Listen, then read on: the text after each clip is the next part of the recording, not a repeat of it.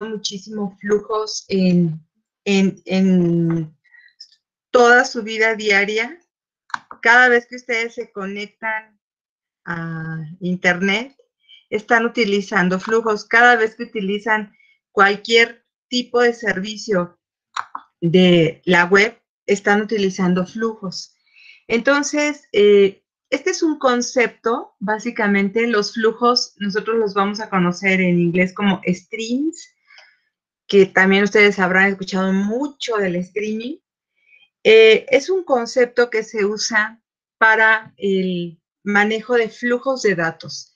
Y los flujos de datos, pues todos tienen un origen y un destino, es decir, tienen por lo menos dos partes, dado que los flujos son el apoyo principal para la comunicación de lo que sea, este, tienen las dos partes. Entonces, nosotros vamos a ver aquí flujos en Java, por supuesto, y vamos a ver desde qué momento nosotros estamos haciendo uso de un flujo y también qué es lo que tenemos que construir. Aquí en flujos vamos a empezar a ver primero todos los tipos de flujos que hay y luego vamos a ver los filtros y luego vamos a hacer programas utilizando el paradigma de orientación a objetos para el manejo de objetos y flujos, ¿ok?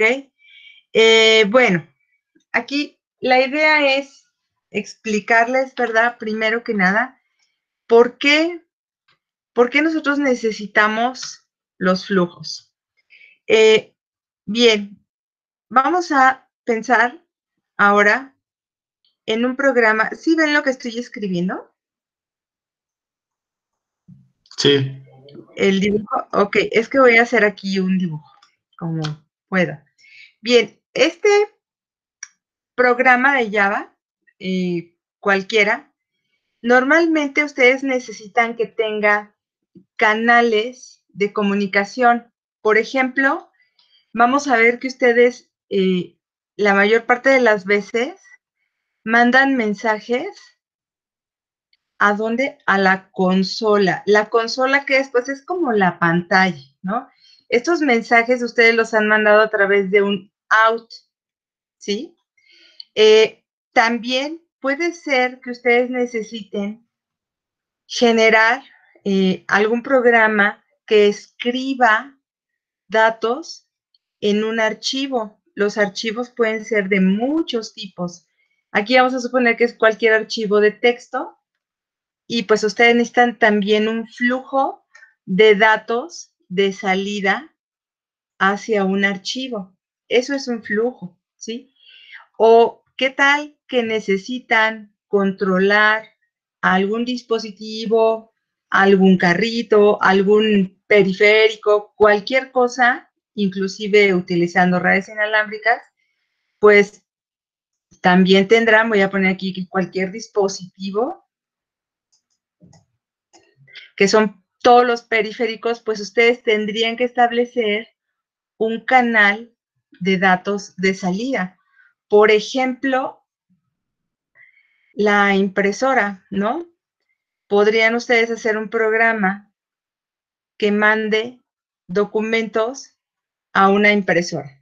Todo esto que estoy poniendo aquí son flujos de salida, flujos, ¿ok?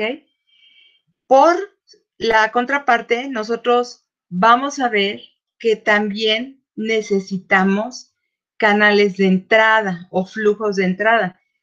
Por ejemplo, algo que nosotros no hemos usado mucho, que yo se los dejo un poquito más hacia el final, esto que está aquí, ah, pues hagan de cuenta que es el teclado, ¿no? Entonces, para leer datos desde el teclado, también necesito un flujo de datos de entrada, ¿sí? Si yo para escribir en la consola utilizo system out, ¿qué utilizaré para leer del teclado? Pues su contraparte, system in, así se llama, ¿ok?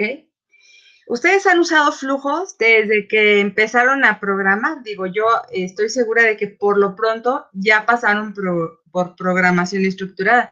Y si ya pasaron por ahí, ustedes sí habrán visto en C una librería que se llama IOH. No sé si no la usaron o no la recuerden, pero esto es input y output. Bueno, Java también tiene una librería que se llama Java IO. Esta es de input output. También podríamos necesitar leer datos de uno o de varios archivos. Por tal razón, aquí voy a poner que fuera pues cualquier tipo de archivo, yo necesito un flujo, un flujo de entrada que provenga desde el archivo. Y vean, eh, esto es un fundamento de muchas, muchos tipos de aplicaciones que ustedes van a hacer conforme avancen. Por ejemplo, cuando van a tener comunicación con una base de datos relacional, ¿sí? Pues igual tiene que tener un flujo de datos entre la base de datos y el programa, que normalmente se maneja una conexión y a través de la conexión ustedes tienen entrada y salida, ¿sí? Estos son las razones por las cuales nosotros necesitamos ver el tema de flujos. Muy bien, ahora imagínense para otro caso, voy a ponerlo acá, que ustedes además tienen un programa de Java en una máquina, pues esa máquina estará en su casa, ¿no? Vamos a decir que la máquina está en México y que tiene una IP, cualquiera que tenga, ¿eh? porque puede ser inclusive una IP eh, asignada con DHCP, pero en el momento que ustedes ya se conectan, ya tienen una IP, ¿no? Y, eh, y que quieren comunicar este programa con otra máquina que está en Rusia, que también pues tendrá una IP, sea fija o no, ni siquiera nos vamos a preocupar en qué está hecho el otro programa, vamos a poner que esta es una aplicación con la cual ustedes se quieren comunicar. Entonces, este está en una máquina distinta de esta que tenemos acá. Entonces, si ustedes necesitan comunicar alguna información entre ambos programas o mandar a ejecutar algo, pues establecerían también un flujo tienen que poner un flujo de datos de salida y también requerirían que la contraparte permita que ustedes tengan un flujo de datos de entrada, si es que van a comunicar tanto de salida como de regreso. Entonces, nosotros estamos haciendo mucho el uso de flujos o stream, streaming en esta, en esta parte ustedes deben de imaginarse a los flujos, vamos a, ponerlo aquí como, un flujo es como una manguera. Digo, a lo mejor, este, no hayan regado mucho las plantas últimamente, pero el flujo es una, como una manguera en donde lo que van a ver que viaja son bytes. Hay diferentes tipos de, de flujos, ¿no? Pero nosotros vamos a ver aquí este, que el flujo es un, como un eh, canal que por dentro llevaría agua, ¿no? Entonces tiene siempre una entrada y tiene una salida. Por eso tiene las, el origen y el destino, ¿no? Vamos a, pensarlo así. Y también eh, vamos a ver nosotros otro concepto muy, muy importante que es el filtro.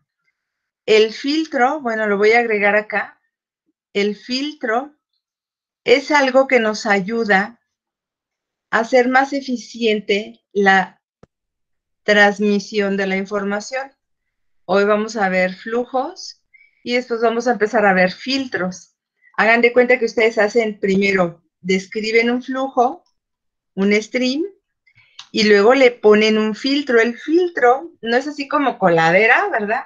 Lo que hace es eh, hacer más eficiente la comunicación del flujo, porque nosotros vamos a ver que tenemos filtros para datos y filtros para objetos, ¿sí? también los filtros se aplican por el, el canal desde donde sale hasta donde llega. O sea, si nosotros vamos a hacer un filtro de datos en la contraparte donde va a llegar nuestra información, debemos, debe de usarse también un filtro de datos. Y viceversa, si se usa uno de objetos, entonces en la contraparte va a tratarlo como un objeto. De tal manera que nosotros podemos enviar datos o podemos enviar objetos, datos o objetos. Entonces, vamos a ver estos conceptos ahora que nosotros tenemos para establecer comunicaciones. Posteriormente, más adelante, no en este curso, eso sí, en, en Java hay una librería que yo les recomiendo mucho que, pues por lo menos la estudien, ¿no? Vean qué hace, es JavaNet. Java.net tiene todo lo que ustedes necesitan para hacer aplicaciones como esta, en donde comunican una máquina A con una máquina B, que tiene una IP, tiene un puerto, etcétera. Entonces, este JavaNet está orientado a hacer programación de redes, así se llama. Es como si ustedes estuvieran haciendo protocolos y una vez que ya conocen flujos y ya conocen filtros, lo único que les hace falta es aprender a programar sockets, ¿sí? Pero bueno, eso sí, nosotros no lo vamos a ver aquí. Nosotros vamos a ver flujos y filtros, ¿ok? Pero sí son fundamentos para todo lo que sea comunicación, ¿ok? Otra cosa muy importante que les debo comentar aquí es, eh, permítanme un segundo.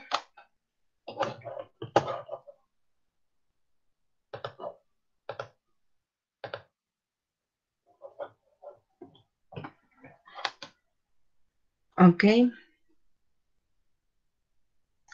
Otra cosa muy importante. Siempre que hagamos un programa en Java, por supuesto, un programa en Java que requiera una comunicación, aunque sea solamente la de salida o requiera una comunicación de entrada, la que sea, eh, por ejemplo, con un archivo, ese es el, caso que vamos a ver ahora, cuando ustedes requieren hacer este tipo de codificación en su programa, es muy importante, el programa les va a exigir, sobre todo el entorno de desarrollo les va a exigir que hagan un manejo de excepciones. Aquí ya tienen que empezar a hacer el manejo de excepciones. ¿Por qué?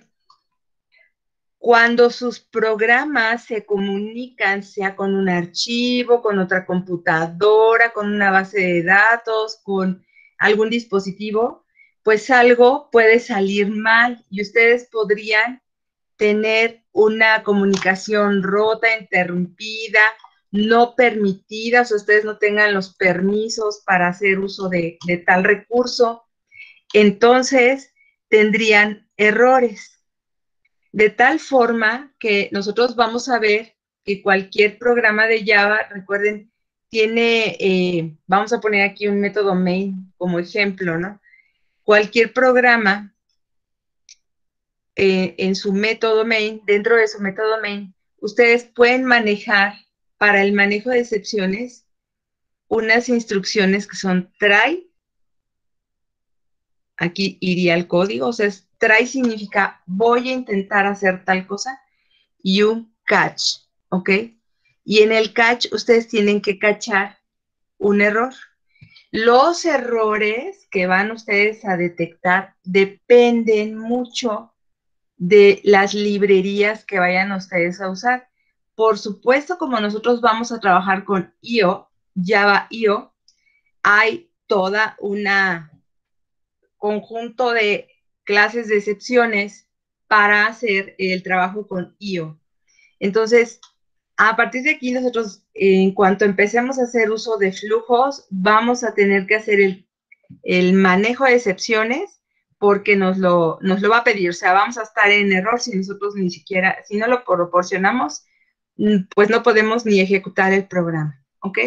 Entonces, bueno, esto es este a manera de una introducción al tema, ¿no? Que eh, a mí siempre me ha parecido muy, muy interesante, pero también un poquito, luego se, se les complica a ustedes, ¿no? Un poco, pero, pero poquito, no mucho.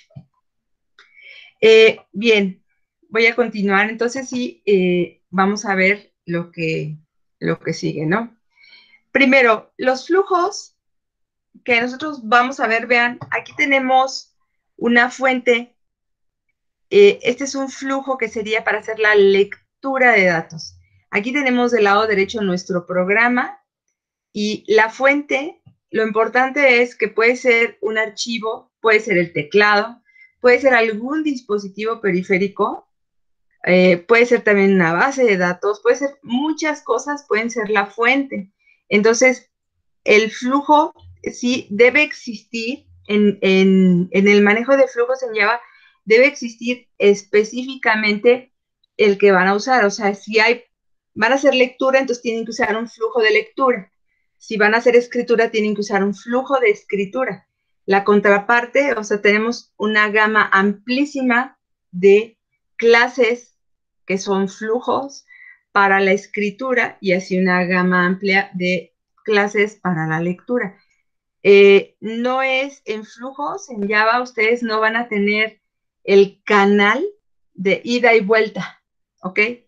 Al nivel que nosotros estamos usando los flujos, ustedes lo tienen que hacer tan especializado como de hacia dónde va, si van a hacer lectura o si van a hacer escritura, ¿ok? Vamos a ver un primer ejemplo con el manejo de archivos, ¿ok? Para el manejo de archivos, entonces sí vamos a, ya vamos a importar Java.io. Cuando estábamos usando el sistema, no sé si alguien estará pidiendo entrar. Ah, se me hace que sí. Ahí va. Cuando ustedes estaban, eh, eh, siguen viendo mis diapositivas, ¿verdad o no? Sí, profesor. Bueno, bueno. Ok, gracias. Este, cuando hacemos uso del System Out, pues nosotros no teníamos que incluir nada en particular porque es algo muy común que se use, ¿no? Pero desde el momento que sí vamos a hacer uso de archivos, entonces sí, vamos a necesitar el, importar, ¿no? Y no solamente por eso, sino por lo que ya les comenté, necesitamos hacer el manejo de excepciones. Entonces, para eh, la lectura y escritura de archivos, existe este, en particular, este es uno de muchísimos, ya verán cuántísimos hay. Digo, los vamos a mirar, no los vamos a programar todos porque se nos va el tiempo, ¿no? Pero sí es necesario que manejen lo básico. Aquí tenemos este file reader y file writer que son, eh, vean, uno es para para leer y el otro es para escribir. ¿En qué? Pues en archivos. Estos son streams, son flujos especializados para archivos, ¿sí? Entonces, nosotros eh, a través del file reader y el file writer vamos a hacer uso de los métodos read y write. Con estos métodos yo puedo hacer tanto la lectura como la escritura, ¿sí? Y bueno, vamos a ver el, el manejo del archivo. Aquí está. Primero se los explico. Ahorita me paso ya a Eclipse. Este es un primer ejemplo muy, muy sencillo. ¿Ok? Eh, aquí en esta parte nosotros vamos a ver que tenemos el manejo de un, este objeto que ven aquí que se llama input file, es un tipo file, ¿sí? Eh, en la librería de Java.io viene esta clase que se llama file, está predefinida ya esta clase precisamente cuando ustedes necesitan eh, trabajar con algún tipo de archivo. Input file es el nombre del objeto, ¿ok? Y yo voy a usar este archivo, lo voy a crear, fíjense aquí es new file, canciones txt. ¿Qué es muy importante que ustedes sepan que cuando este archivo no existe, ajá, cuando no existe, lo crea. El new file lo que hace es crearlo. Pero si ya existe, entonces su contenido queda referenciado por este objeto. En ambos casos sigue siendo referenciado por ese objeto, pero puede ser que ya exista o puede ser que no exista. La construcción de este archivo depende de si, si ya estaba o no estaba, ¿no? Entonces, en este ejemplo, nosotros vamos a tener primero, voy a, voy a poner, yo voy a hacer el ejemplo, ustedes lo van a repetir este, después, pero yo voy a hacer un archivo de canciones y lo que voy a hacer es copiarlo. Este archivo de canciones lo voy a copiar. ¿A dónde? Pues a este archivo de salida. Vean, básicamente estoy haciendo una copia de archivos. Este salida TXT no va a existir, solamente va a existir canciones TXT y el programa como resultado debería de generarme el archivo copiado, ¿no? Que vamos a decir que se llame salida TXT. Bueno, ¿cómo funciona, no? ¿Cómo es que se crea? Hasta aquí lo único que hemos visto que se crea es eh, la referencia a los dos archivos. Hasta que no hacen uso, vean, aquí está el try y catch. No olviden, esto es importante. Ustedes deben de poner, ya cuando empiezan a manejar archivos, deben de poner try y catch. Hay otra opción que en lugar de poner try, eh, en lugar de poner el catch, ustedes pongan acá adelante un throws, ¿no? Enfrente del método. Con el throws también pueden manejar las excepciones, pero es preferible hacer el cacheo de excepciones. Ahí se me perdió, aquí está.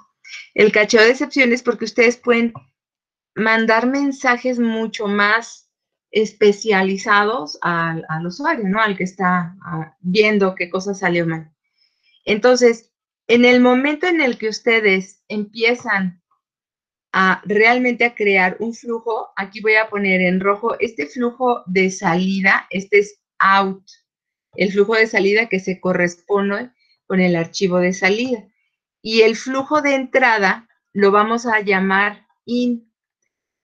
Pueden ponerle el nombre al objeto que ustedes gusten, pero es muy útil que ustedes manejen esto este, como un nombrado genérico, ¿no? Sus entradas, aquí viene File Reader, este sí es un flujo que está hecho especialmente para conectarse a un archivo. ¿Y cómo se hace? Siempre, siempre su flujo va a estar asociado al recurso al recurso. Aquí vean, este file reader, pues como es un flujo de archivos, para leer archivos, entonces va a estar asociado a lo que nosotros vamos a referir como mi archivo de entrada, este que tengo acá. Este es por el que voy a empezar. En, mientras que el otro, pues va a estar asociado a el de salida, ¿sí? Los flujos Recuerden, los flujos siempre se tienen que correlacionar, ya sea si es un flujo de entrada, entonces se correlaciona, en este caso, con un archivo de entrada. Y el flujo de salida se va a correlacionar con un archivo de salida, ¿ok? Pudiera llegar a ser también el caso en el que ustedes necesiten hacer un programa que maneje eh, un mismo recurso como de entrada y salida. Eso también es posible. Bueno, vean cómo se lee este archivo. Básicamente va a leerlo por, eh, este es como tipo carácter, los lee en enteros, en enteros. Y vean los métodos para hacer la lectura. Aquí tenemos un while. Este ciclo while tiene toda esta condición se va a asignar lo que sea que contenga in, que es mi archivo de entrada, con el método de lectura in read. Es necesario que ustedes usen la lectura. Esto se va a asignar a C, que es un entero. Y lo único que dice es que mientras que esto sea diferente de menos uno, ¿qué es lo que hace? Escribe hace la copia en out. ¿Y qué es lo que escribe en out? pues lo que acaba de leer, ¿ok? Este ciclo while, que ni siquiera ocupa llaves porque es una sola instrucción, lo que hace es que lee eh, carácter por carácter y escribe carácter por carácter. Lo está leyendo como si fueran enteros, pero ustedes van a ver que funciona perfectamente bien, porque estos son métodos especialmente hechos para archivos, ¿sí? Y otra cosa muy, muy importante, los flujos, es, recuerdan que les dije que los flujos son como mangueras, pues las tienen que cerrar, no las deben de dejar abiertas. Digo, no pasa nada porque de todas maneras, este, Java tiene un entorno que ayuda a evitar estos problemas, pero si ustedes tienen un programa que establece comunicaciones constantemente y el programa no se cierra nunca, no se apaga nunca, entonces sí van a tener problemas, ¿no? Eh, aquí para este ejemplo, pues no, no pasa nada, pero vamos a, a, aprender a hacer esto bien. Cada vez que ustedes ya dejan de usar algún flujo, lo cierran, ¿sí? De tal forma que los dos flujos que ustedes ya crearon, este file reader y este file writer, cuando ya no los necesitan, los tienen que cerrar. Es como si dejaran la manguera abierta. Y esta excepción que tenemos acá abajo, IO, esta es una excepción especializada de input-output. Y lo que hace es que con esta E, que es un parámetro para la excepción, hagan de cuenta que lo que están diciendo es, intenta la ejecución de este código hasta acá, y si no funciona, aquí, y si no funciona, entonces cacha el error. ¿Cuál error? Pues el que sea que haya ocurrido, ¿no? Aquí pudo haber ocurrido una cantidad cualquiera de errores, entonces esta IO exception es como una excepción genérica. Y cuando hacen este E, es el objeto de que, que sucedió de la excepción, mandan a llamar al método de print stack trace, que quiere decir imprime toda la traza del error. Los errores ustedes van a ver son una cosa horrorosa en Java, salen unos letreros rojos y les manda una secuencia. El stack trace es una secuencia desde dónde viene y hasta las últimas consecuencias del error. Eso es hacer el print stack trace. Eh, vamos a ver después eh, yo espero que nos dé el tiempo porque sí se está poniendo chiquito el curso para tanta cosa que hay que ver, pero este, cómo se especializan ¿no? Los, las excepciones, porque las excepciones también son jerarquías de clases y ustedes las pueden detectar de manera especializada. ¿ok?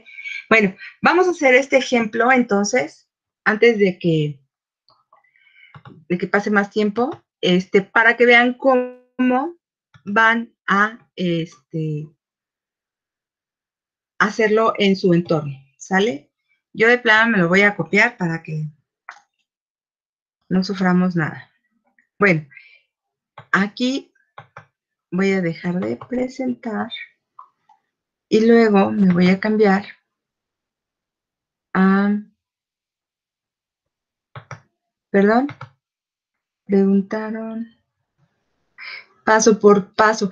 El print stack trace eh, más que el paso por paso, es como la derivación de todos los errores. Eh, voy a ver, voy a tratar de que se genere un error y vemos cómo es que está esta derivación de errores y cómo les recomiendo que los atiendan, ¿verdad? Bueno. Es, como el trace root de cuando checas como que todas las IPs donde va cayendo para una conexión. Pero en Puede ser exacto como eso, pero estos son errores errores. O sea, ¿desde dónde viene el error? No se olviden que, que Java está como, todo es este, como jerarquías de clases. Entonces, el print stack trace les va a decir desde el origen de los errores hasta sus últimas consecuencias que normalmente van a ir a dar, por ejemplo, a un método main. En, qué parte del main, este, que ese es como el más genérico, está sucediendo el error y de ahí los manda hacia atrás, o sea, desde qué objeto, desde qué línea, desde qué clase, etcétera. O sea, ese es el print stack 3. Ahorita vemos a ver si, si este, les genera un error para que veamos este print stack trace, qué es lo que hace, ¿no? Bueno, me voy a cambiar a Eclipse para hacer este programa y el Eclipse, aquí está. Bueno, entonces, eh, voy a hacer ahora el proyecto 16. Este es un proyecto normal. Aquí va a aparecer como que ya no estamos haciendo objetos, porque vamos a hacer varios ejemplitos que solamente vamos a usar el main, pero eventualmente, no tenga ninguna duda, regresaremos a nuestra cantidad de clases que siempre nos gusta manejar. voy a poner aquí el proyecto 16 para tener bien clara la secuencia y listo. Y aquí en el proyecto 16 voy a crear este programa que es una clase. Le voy a poner este copia archivos, ¿no? Nada más así. Le pongo su método main y listo. Finish. Bien, fíjense muy bien. Aquí, eh, bueno, pues yo como ya me traje lo que ya tenía, nomás se lo pego y ya cabe. Bueno, no es tan así como ya cabe, pero vamos a ver cómo funciona todo lo que tengo que hacer aquí. Bueno, primero, eh, este es un programa standalone, eh, solamente vamos a hacer la prueba aquí directamente, todavía no vamos a manejar todos nuestros diseños que ya tenemos. Y lo primero para poder corregir, vean estos errores que tengo, yo estoy usando un objeto file. Para hacer uso de este objeto file, pues tengo que importar el java.io.file, ¿sí? Recuerden que ahí es donde viene. Y el otro, el file reader, también es un, una, una clase que viene definida en java.io. Y lo mismo para el file writer, o sea, uno por uno. Por supuesto, yo podría haber incluido toda la librería, ¿no? Pero vean, la librería no es pequeña, es una mega librería. Ustedes le dan aquí, podrán ver todas las, las clases que existen, son muchísimas para el manejo de flujos flujos y más cosas que flujos, ¿no? Eh, también está el manejo de filtros, formateos, etcétera. O sea, son muchas, muchas opciones. Entonces aquí, este, mejor yo lo manejo así, directamente cada una de las clases que necesito, solo lo que se necesite para cada programa, ¿ok? Bien, y ya con eso, pues ya quedó mi programa correcto. Fíjense, voy a hacer una, cosa para que vean que el entorno no me permitiría que yo eh, siquiera ejecute este programa si no pongo un try y un catch, ¿sí? He quitado especialmente el try y catch para que vean qué pasaría, ¿no? Aquí, si se fijan, cuando eh, quité yo el try y el catch, ya exactamente en el New File Reader, cuando yo intento crear un flujo hacia un archivo de entrada, pues me dice, este, hay que arreglarlo, ¿no? Porque no se están manejando las excepciones. Y vean, tienen dos opciones. La primera opción es usar el throws, que es lo que yo les había dicho. Y vean, cuando ustedes ponen el throws, aquí hay una buena cantidad de eh, tipos de excepciones. Por ejemplo, que el archivo no se encontró o una genérica que es una IO exception. Cuando yo meto la IO exception, ya se resuelve el problema. Vean, aquí con el throws, yo ya puedo trabajarlo, ¿no? Sin embargo, yo prefiero usar el try y el catch. De repente es medio enredoso y todo, pero tenemos la siguiente opción que es surround Nada más que aquí, vean, cuando ustedes le dan esto, surround, ¿qué creen? Nada más agarra una línea, ¿ok? Entonces, eso no, no me conviene tampoco. Voy a manejarlo eh, para toda la sección del código sin estar haciendo esta clase de, de cosas. Ahí está. Voy a arreglarlo.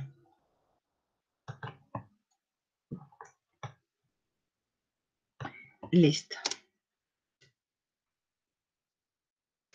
Entonces, eh, manejaré yo desde aquí un try. Vean.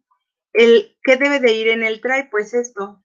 La lectura, o sea, si yo puedo abrir, desde que yo puedo abrir mi flujo de entrada, mi flujo de salida, hasta cerrarlos, ¿ok? Estos deben de ir en el try, exactamente. ¿Y qué va a ir en el catch? El catch siempre va afuera. El try, vean cómo lleva llavecitas. Cuando fuera una sola instrucción, pues ya saben, no se necesita llavecitas, pero ubiquen con toda claridad en dónde termina la llave de su try, porque enseguida hay que poner un catch, catch, así. Y luego hay que manejar aquí bien la, la clase de la excepción que ustedes quieren manejar. Esta va a ser una IO exception y el objeto. Y con esto pongo, vean, este es un objeto, E punto, y vean, hay más que solamente el print stack trace. Nosotros vamos a hacer eh, uso de ese, pero existen más opciones. Ustedes podrían ver de qué excepción se trata. Es, ya veremos un ejemplo más adelante, según el caso del que, en el que haya incurrido, para imprimir algo eh, más eh, claro para el que está ejecutando el programa. ¿Ok? Bueno, pues ya está. Ahora, ¿cómo lo vamos a ejecutar, no? Aquí ya hay otra serie de detalles que son muy, muy importantes.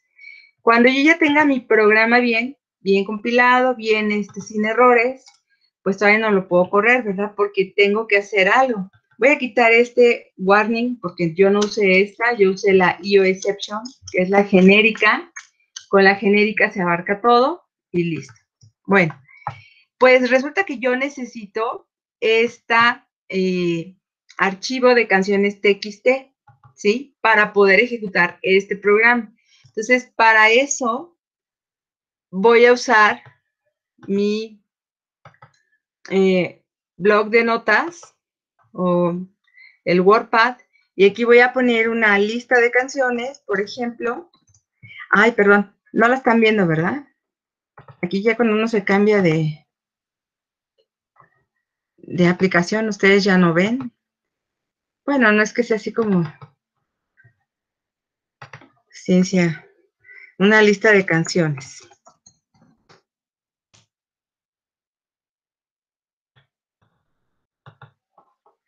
Ok, bueno. Ustedes van a hacer su lista de canciones este, favoritas. Pueden ponerla, este, las que quieran. Mm, a ver. Este.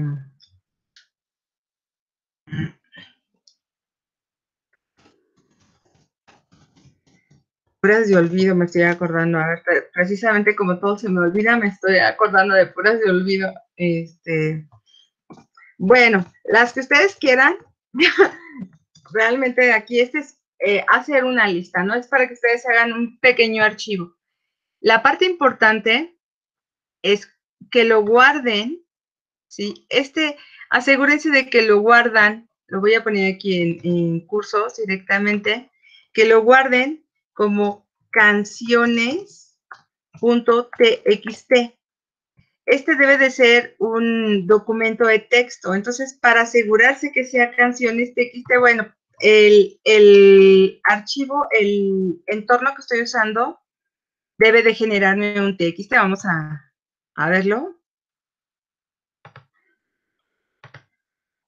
A ver, ahora sí les voy a compartir mejor todo en la pantalla, porque si no, eso de estarse cambie cambie de lugar, toda la pantalla. Ok, ahí está.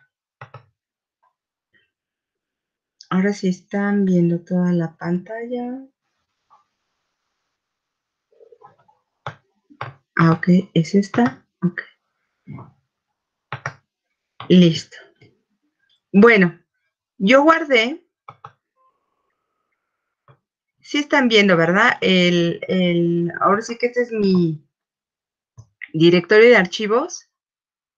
Vean, yo lo guardé aquí en cursos. El de canciones, aquí está. No sé si no lo alcancen a ver. Este de canciones es un documento de texto. Aquí veo yo en las propiedades, canciones, es un punto TXT, ¿ok? ¿Sí, están siguiendo esto? Sí, profesora, sí se. Ok, listo. Bueno, fíjense muy bien. Yo lo que hice fue, por fuera del entorno, creo este archivo. Ahora, lo voy a copiar desde aquí, de donde estoy. Le doy copiar. No lo voy a mandar al Workspace por fuera. Aquí sí me voy a meter a mi entorno, ¿sí? Regreso al entorno y desde el entorno vean en dónde lo voy a pegar. Porque esta es una de las principales causas de los errores. Me estoy parando en la cabecera del proyecto 16, no en el source, no en el paquete, no, en la cabecera del proyecto. Aquí le voy a dar botón derecho, pegar.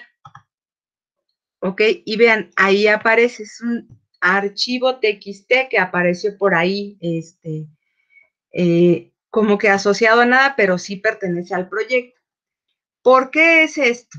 Bueno, cuando ustedes van a manejar archivos desde un entorno de desarrollo, hay un directorio como contextual, es un directorio default que maneja el proyecto. El directorio default que maneja el proyecto está directamente en la cabecera. O sea, este proyecto se llama Proyecto 16. Y desde Proyecto 16 ustedes pueden hacer uso exactamente de canciones TXT. Si no quieren hacer eso y si lo quieren manejar desde un archivo, entonces tendrían que poner toda la ruta y toda la ruta es copiar todo lo que tienen desde su disco duro con todo el pad específico hasta su, este, hasta el nombre del archivo, ¿no? Entonces eso no conviene porque el día que ustedes se llevan este proyecto a otra máquina o se lo pasan a alguien, pues quedó casado a la estructura de directorios que tiene en donde estaba la máquina. Y por si fuera poco, ni siquiera va a tener el archivo. Entonces, siempre ustedes van a empezar a ver que necesitan incluir dentro de su proyecto todo lo necesario para que los programas funcionen, ¿ok? Por eso lo pego aquí, canciones TX.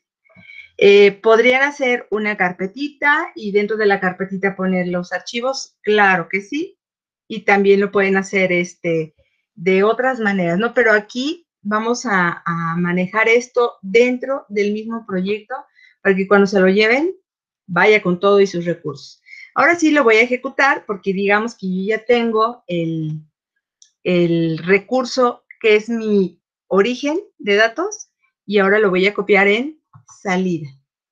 ¿Ok? Entonces lo ejecuto y pues claro, ustedes yo estoy segura que no van a ver nada en su salida. Aquí no se ve nada, pero sí quiero que vean en su consola. Esta es la consola, ¿ok?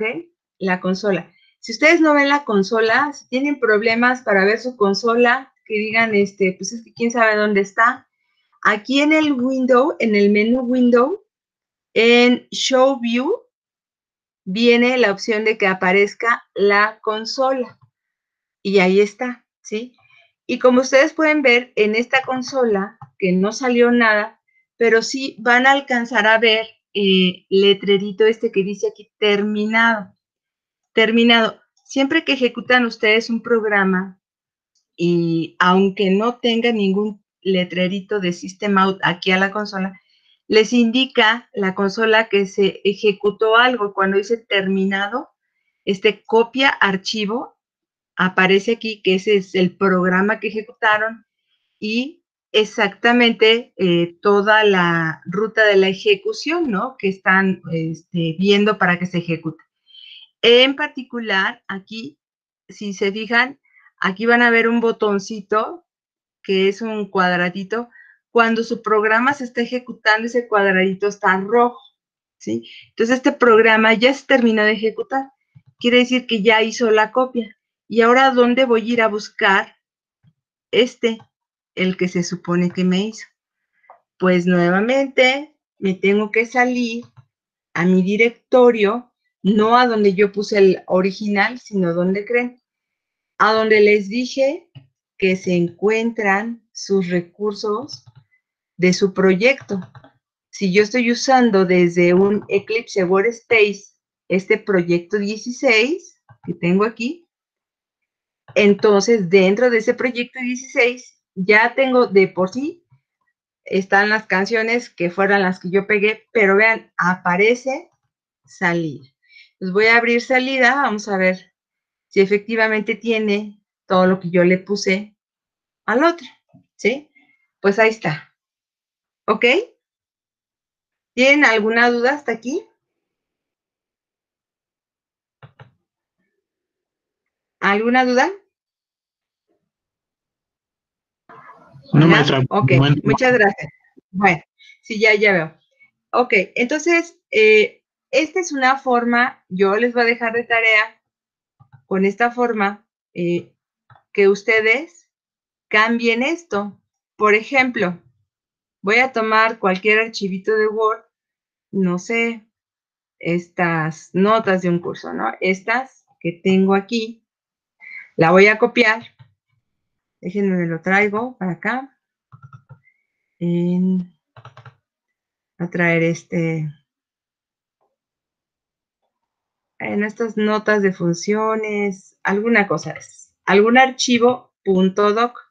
Vean, lo copio igual, me voy al entorno de desarrollo, aquí desde proyecto 16 le doy botón derecho, pegar.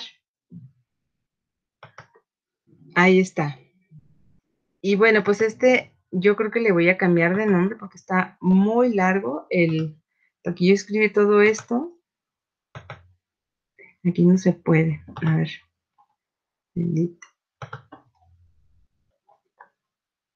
Sí. Permítanme. Ese es el problema también, que luego tenemos unas cosas muy largas, notas de funciones y... Ahí va. Dale, nomás que se llame notas. Lo copio, me lo traigo para acá y aquí lo pego. ¿Sale? En paste. Ahí está. Notas de OCX. Entonces yo lo voy a cambiar y yo le voy a poner aquí que mi archivo de entrada va a ser notas.docx. ¿Ok? Y voy a que me cree uno que se llame copia docx.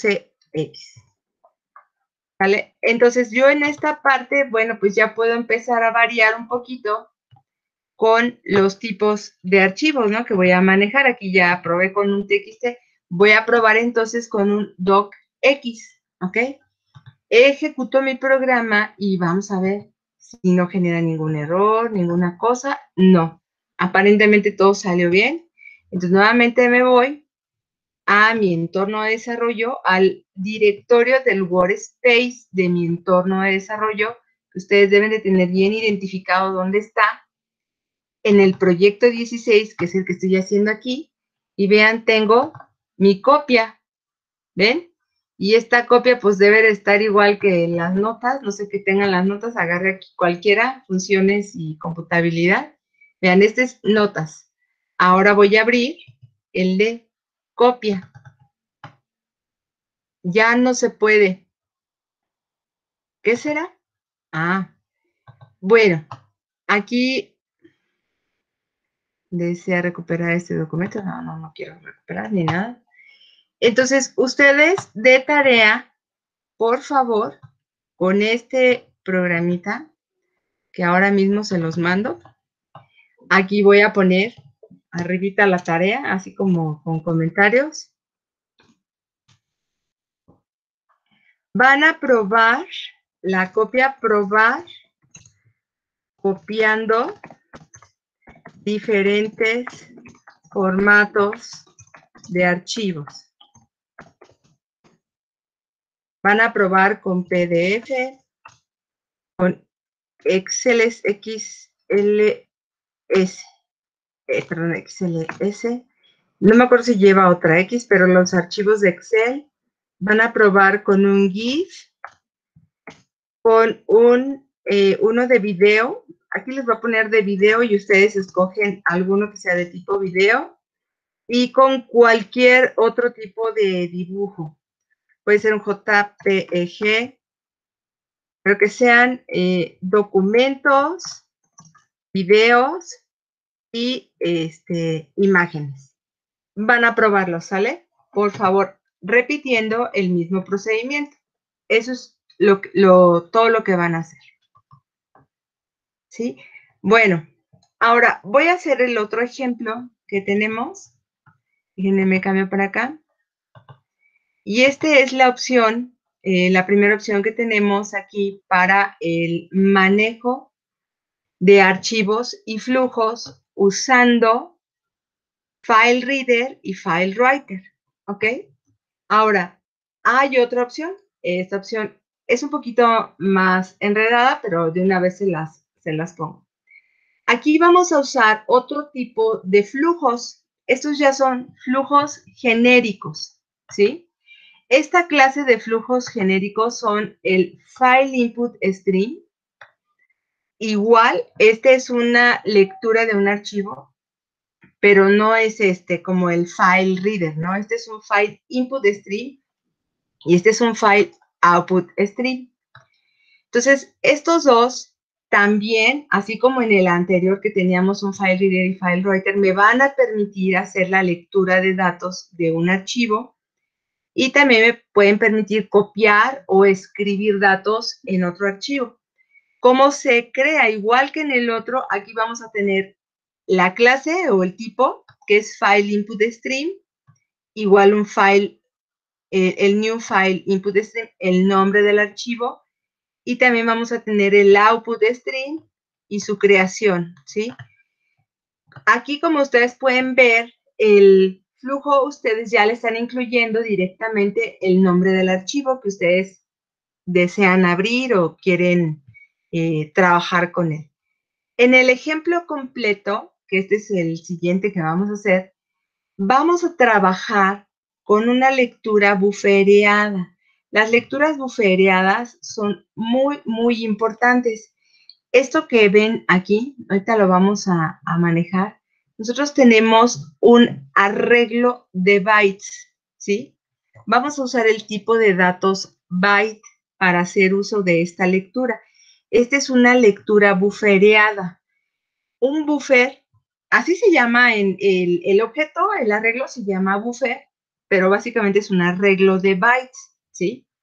Este arreglo de bytes lo que hace es que van a crear un arreglo eh, que se va a ir llenando de datos. Un buffer, el concepto de buffer es como el de la taza del baño. Que ustedes cuando ven que usan la, le bajan al baño, se vacía el, pues es donde está el depósito de agua. Y conforme se va llenando, eso es lo mismo que un buffer. Ustedes van leyendo datos y los van metiendo en una especie de memoria, ¿no? De, espacio donde están guardando su contenido en bytes, ¿sí? Después de que ustedes ya se les llenó el buffer, ya pueden hacer un envío, que sería como el flush, ¿no? De la taza del baño. Entonces, la lectura buffereada es una lectura eh, muy especial y muy eficiente que además eh, cuando se maneja en bytes, la transformación o los contenidos de esos archivos no deberían de tener ningún problema, ¿sí? Vean, otra cuestión muy importante es cómo se hace esta lectura. Esta lectura va a estar haciendo un ciclo do while. Este do while va a depender del número de bytes que se vayan a leer. El número de bytes que se van leyendo, para empezar su arreglo, ustedes lo tienen de tamaño 50. Van a ir leyendo de 50 en 50. Si su archivo de origen es muy chiquito, bueno, pues con un solo, una sola lectura ya se lee todo. Pero si su archivo de origen es muy grande, mucho más grande, entonces van a estar iterando, iterando, iterando en este ciclo hasta que hayan terminado de leer y enviar, leer y enviar, leer y enviar, ¿sí? Esta forma de hacer el trabajo es lo más clásico que ustedes van a ver parecido al streaming que nosotros vemos en, internet o en las páginas, ¿no? Si ustedes se han fijado, cuando empieza, eh, si ustedes tienen una conexión muy lenta o están 25 mil personas conectadas al mismo tiempo, pues su streaming está muy lento, ¿sí? De todas formas, aunque su streaming esté muy lento, al menos empiezan a ver algunas cosas. Quiere decir que se lee en partes. Entonces, vean, van a ir leyendo de su archivo de entrada de a 50 en 50, ¿sí? Y este system out, este system out que tenemos aquí, lo que va a hacer es imprimir, ¿en dónde? En la consola, ¿sí? Aquí si se fijan, solamente estamos manejando el archivo de entrada y como salida es la consola. Entonces, Vamos a ver este ejemplo para que vean cómo funciona esta lectura bufereada que va a ir leyendo de, piezas en piezas desde un buffer, todo el buffer desde la posición cero del arreglo. Recuerden que todos los arreglos empiezan en el cero, desde el byte, desde el primer byte que está en el arreglo, hasta el número de bytes que vaya a leer. Este número de bytes que vaya a leer, pues es, depende eh, del tamaño del archivo y en particular en, este, en esta pieza, pues va a ir leyendo de 50 en 50. O sea, me llena el buffer, si el archivo está tremendo, me lo llena, lo lee y luego otra vez vuelve a, leer la siguiente parte y así continúa. Va a ir leyendo como de pedazo en pedazo y va a ir imprimiendo todo el contenido que también vaya leyendo. Mientras que, ¿cuándo va a suceder esto? Mientras que esta condición, que es el número de bytes que se están leyendo, sea igual al tamaño del buffer. Si ustedes tienen un archivo muy grande, vamos a suponer que su archivo, imaginándonos, ¿no? Su archivo es de 500 bytes para hacer una división muy sencilla, ¿sí? Pues ¿cuántas veces lo irán a leer? 10 veces, ¿sí? Entonces van a ir de 50 en 50.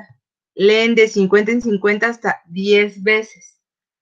Si lo que ustedes están leyendo es igual al tamaño del buffer, quiere decir que leyeron 50, 50, 50. Pero ¿qué tal que el archivo, este, pues tuviera 501? Al final, su buffer va a tener un solo byte. Cuando su buffer tiene un solo byte, este va a ser diferente de 50. En ese momento termina, quiere decir que ya acabó. Inclusive si fueran los 500, aquí tendrías un 0. El 0 también es diferente de 50.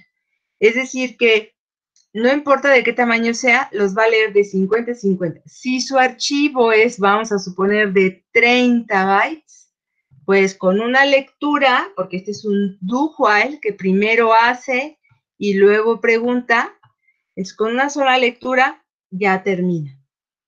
¿Sí les queda claro? Bueno. Bueno, esperemos que anden por ahí. Ahorita lo, es que yo veo la presentación, a lo mejor ustedes están viendo el, me escriben ahí en la, e, en donde están todos los mensajitos. Y bueno, voy a hacer ahora este, por favor. Lo copio. Este es el siguiente ejemplo. Vamos a aprovechar lo que ya tenemos ahí. Y vemos, ¿ok? En este mismo proyecto 16, voy a crear este. Se va a llamar archivo a consola, así se llama. A consola. También lleva un main. Y listo. Este archivo a consola. Ay, a ver, creo que me traje. Voy a traer más de aquí. De aquí hasta acá. Exacto.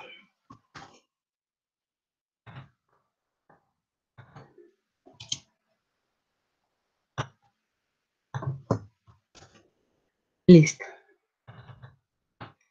A ver, lo acomodo para que no esté feo, que no les quede así medio enredado, quién sabe qué. Listo. Vean, aquí nuestras excepciones ya son de otros, pero estamos manejando otras. Y aquí me va a sobrar una. Exacto.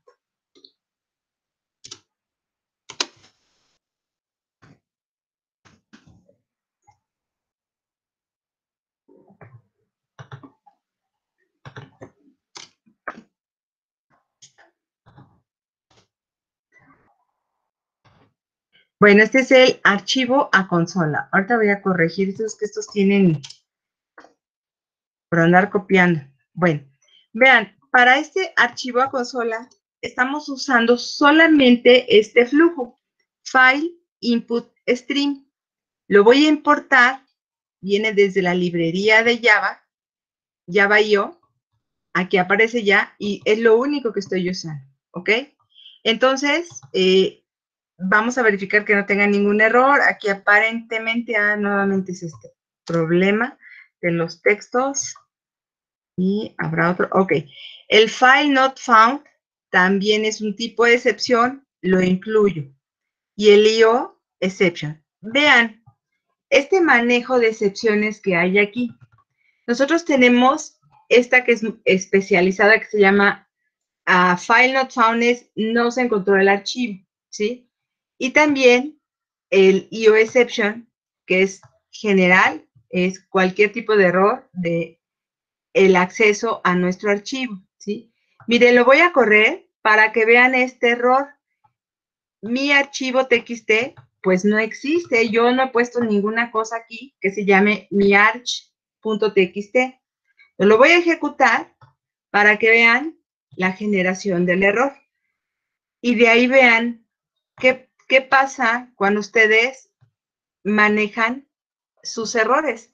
En aquí dice, no se encontró el archivo. Cayó exactamente en este primero, que es el eh, file not found, ¿sí? Si yo no manejara este especializado y nada más, voy a, voy a comentarlo aquí nada más, y nada más pusiera el IO exception, como lo pusimos en el otro ejemplo, también va a funcionar, ¿sí? Pero la ejecución me diría eso, ¿no? Falló la lectura. ¿Qué pasa si yo pongo el e punto print stack trace?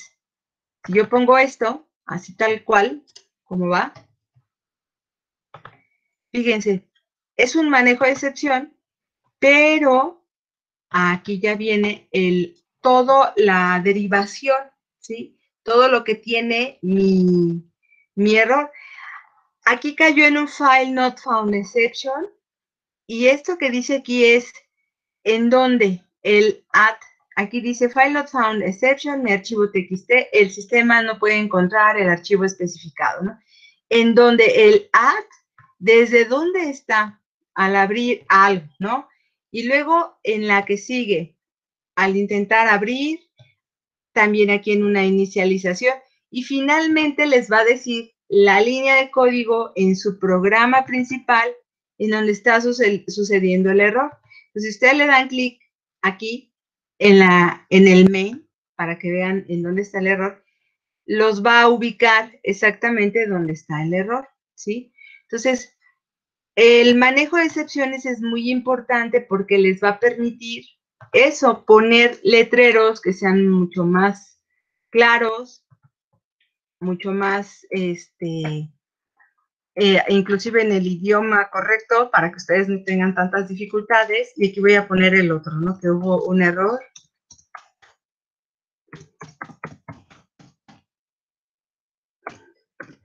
Falló la lectura. ¿Ok? Listo.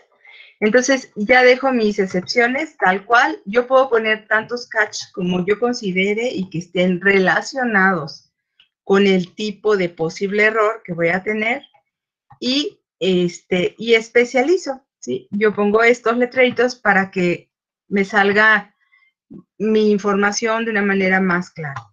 Ahora, voy a poner para probar este último ejemplo, este nuevamente notas docx, que es un archivo que parece que es un poquito más grande. Y con ese probamos, ¿ok?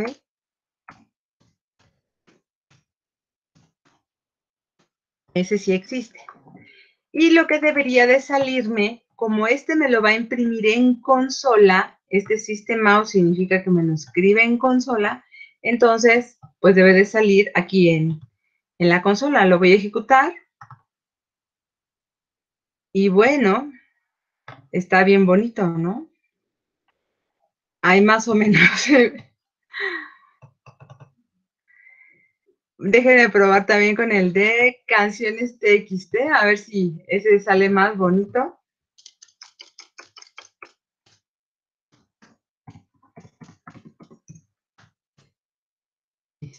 Vamos a ver.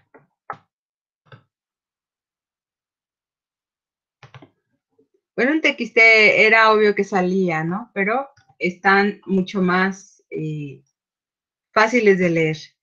Bueno, entonces, por ahora, este, lo dejo con esto. Yo les voy a mandar estos dos archivos y quiero que hagan esta prueba. ¿Qué pasa, no? Probar copiando o cambiando el, específicamente los tipos de archivos que están manejando para ambos casos. Quiero que los prueben para ver y qué es lo que pasa, o sea, qué conclusión llegan, porque en unas ocasiones no funciona bien o funciona bien, pero quién sabe qué saca, y en otras ocasiones sí funciona bien, ¿sale?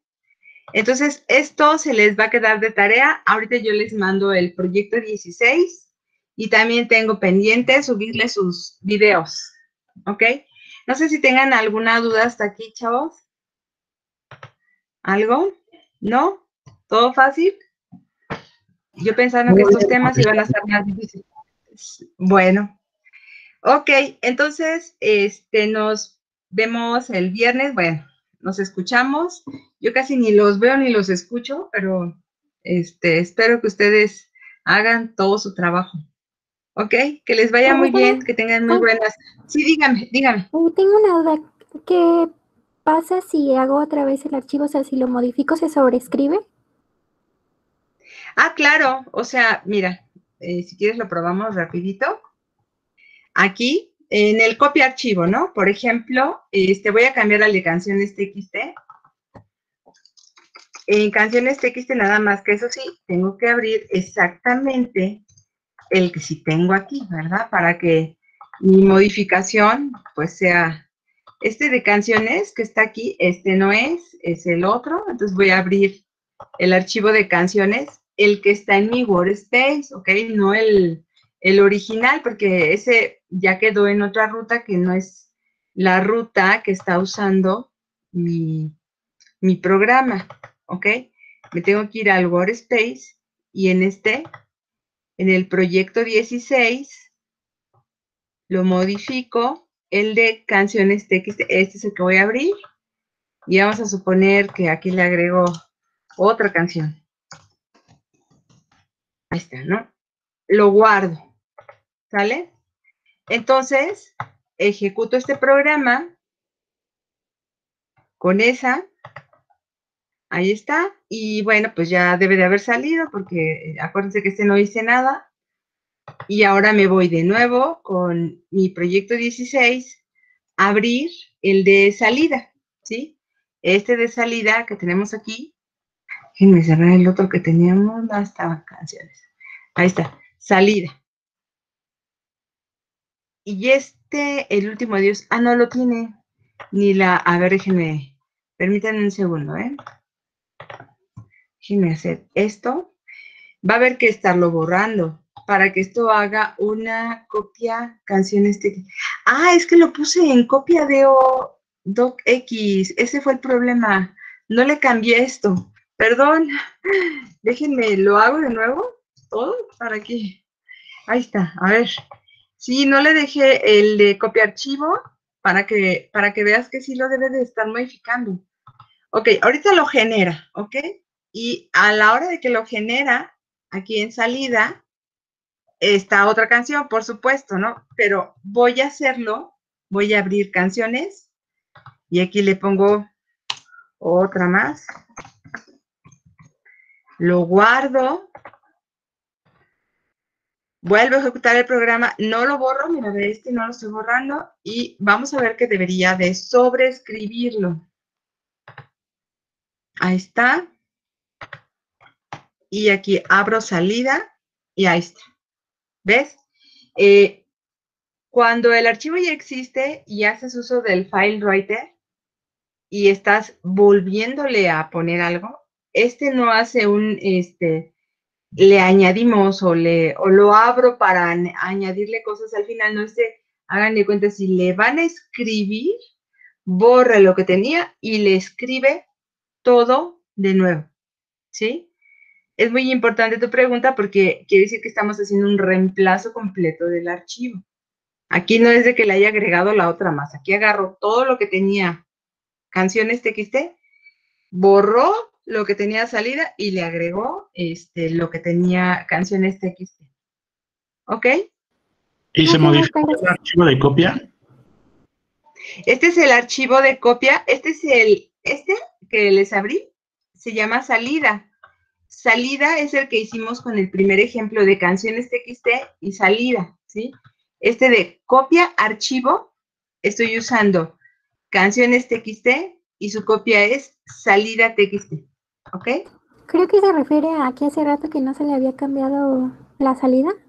Ah, es que hace rato yo le puse este que está acá, perdón, el, el de el docx, estaba la salida de uno que se llamaba copia docx. ¿Quieren ver que, habrá salido, no? Es lo que me imagino. Sí, por favor. No sé si eso es a lo que se refieren. No se pueden abrir.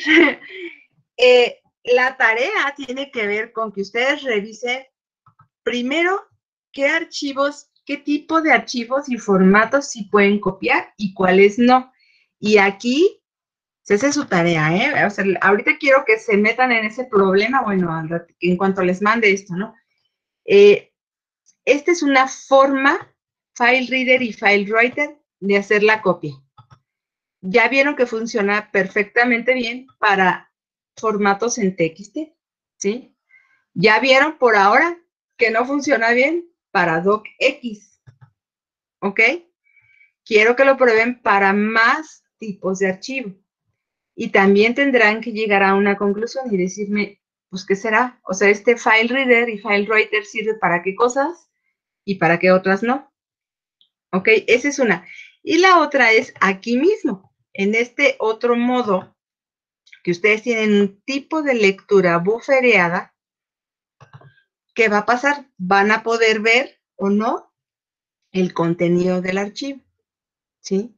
Esa es la tarea. O sea, ya sé que este docx este, no se ve bien, no funciona, no está correcto, funcionó muy bien para el TXT, pero entonces, ¿qué es lo que está pasando? Por eso es la tarea, ¿ok? Vamos a revisar esta tarea. O sea, la revisión quiere decir que este, les va a preguntar cómo les fue. Todos van a llegar a conclusiones, pero tenemos que ver que lo hayan hecho. ¿Sale? Sí, maestra, gracias. Ok. ¿Alguna otra duda? Bueno, chicos, entonces ahora sí nos vemos, bueno, nos escuchamos el viernes, por favor.